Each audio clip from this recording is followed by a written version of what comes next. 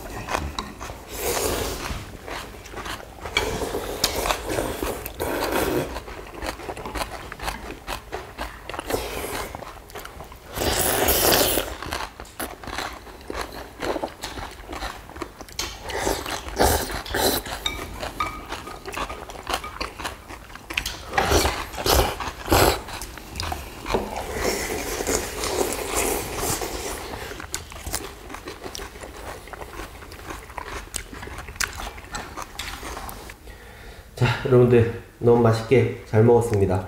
아, 열무김치가 잘 익었는지 아, 이게 국수랑 같이 딱 해서 조화가 너무 좋았는 것 같아요. 엄마 고맙다. 음, 열무가 아삭아삭하면서 이 고기하고 같이 먹으니까 아, 그거 뭐 진짜 또 좀, 새롭죠? 어. 고기가 완전 부드럽게 잘 삼겼어. 음, 감사합니다. 자, 여러분들 녹화는 여기까지 하도록 하겠습니다. 녹화는 여기까지 뿅. 감사합니다. 감사합니다.